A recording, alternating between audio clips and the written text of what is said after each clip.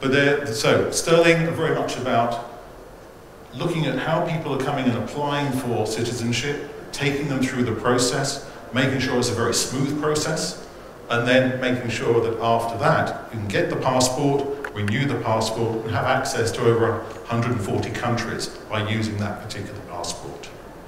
So company incorporation as well, the citizenship application.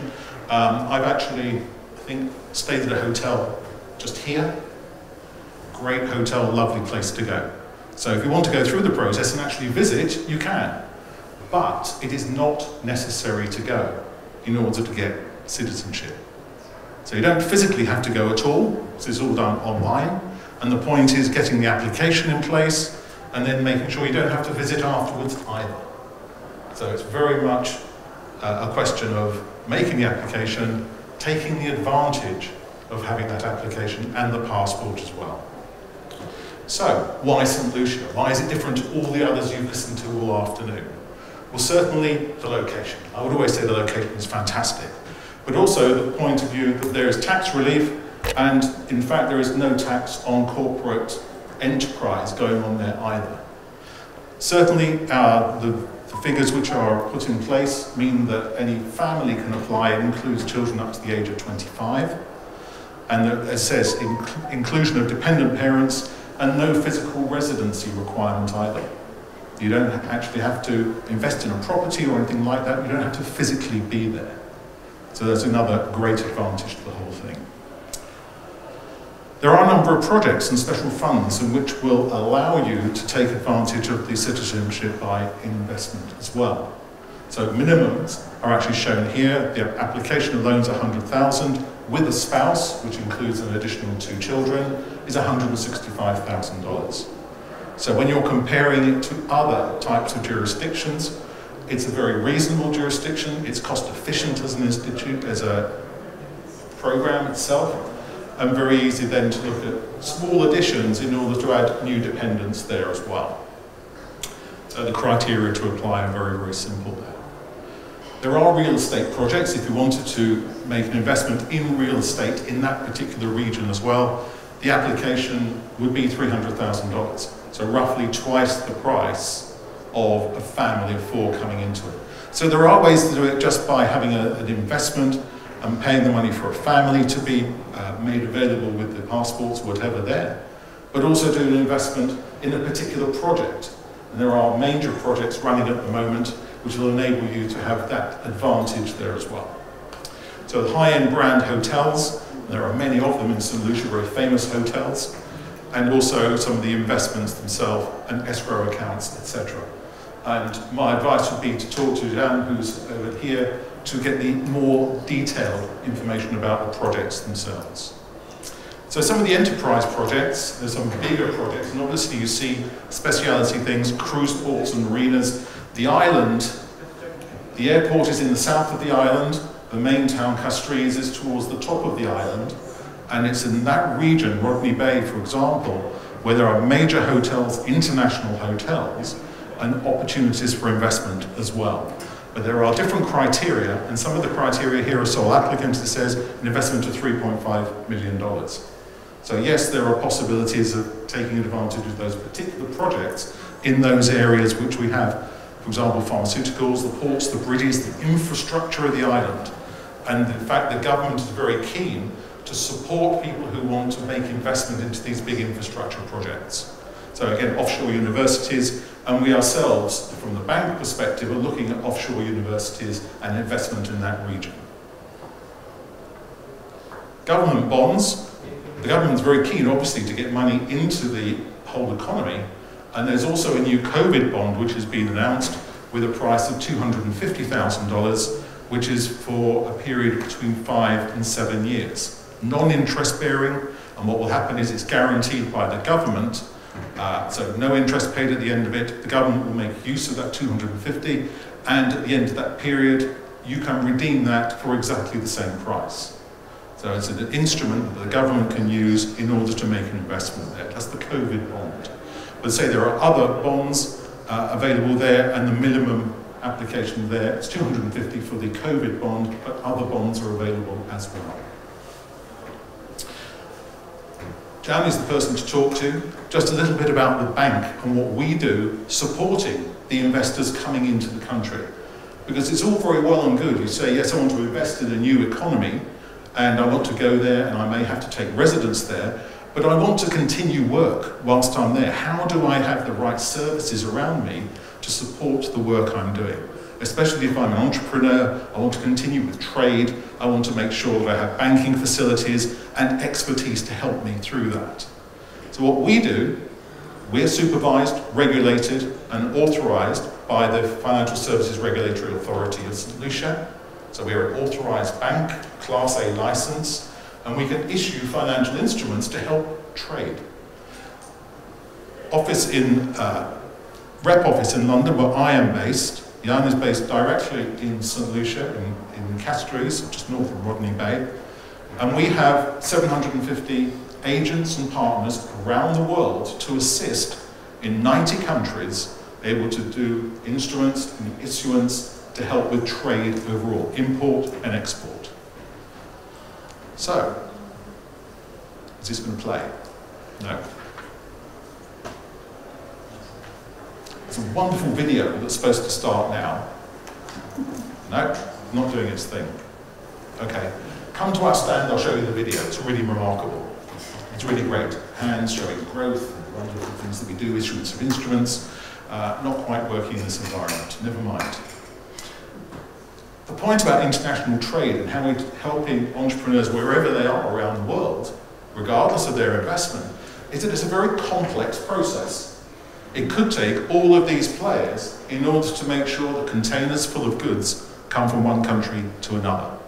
And here we're supporting them throughout the ecosystem, throughout the ecosystem, exporters banks, insurance companies, customs, advising banks, insurance, inspection. There are so many parts to the whole transaction. If you're involved in a payment transaction, it's three pieces of information. If you're involved in a trade transaction, import and export, it could be hundreds of pieces of non-standard information. And that's why we're specialized in providing these instruments worldwide. There are multiple regulations. We talked about it a little bit this morning in, on the panel session. We know that regulation is changing somewhere in the world every between 7 and 12 minutes.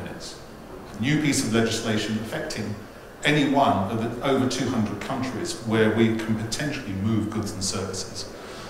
We monitor all of this in a real-time basis. The cost of this is astonishing.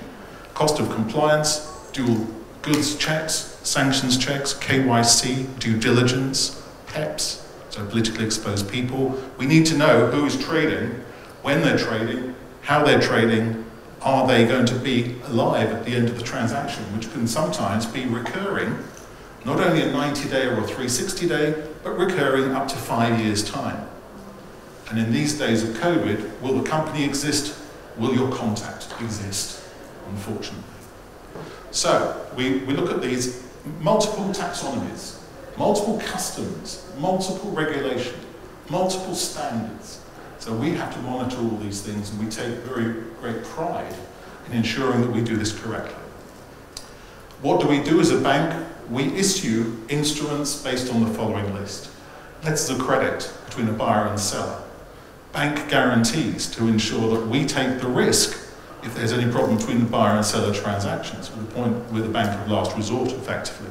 Pre-advising, so standard comfort letters, RWA, regularly able, to tell your counterparty that that buyer is ready to do the business.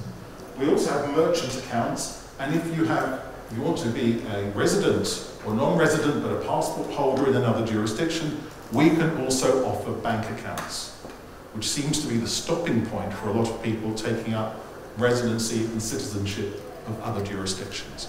So we can certainly do that. Correspondent banking, money remittance services, we're also a participant in Ripple, so cryptocurrency, we use the network, and two services, the Xcurrent service for foreign exchange, and ODL, on-demand liquidity, if you wanted to move from one non-fiat currency to another fiat currency without moving into dollars, which is the currency trade. So these are the sort of instruments and the rates that we charge. We charge a fee of $6,000 to open a bank account. And yes, we go through a very very tenuous, not tenuous, but a very extended uh, number of checks in order to understand the identity the shareholders, the owners, so the ultimate beneficiaries, the balance sheet and everything for that particular client, to onboard them as a new uh, customer to us. Minimum $5,000, there's also heavy due diligence. The important thing here is that we have what we believe are cost-effective rates. We do know that in some jurisdictions, banks are charging 110% of the face value of a trade for the length of the trade.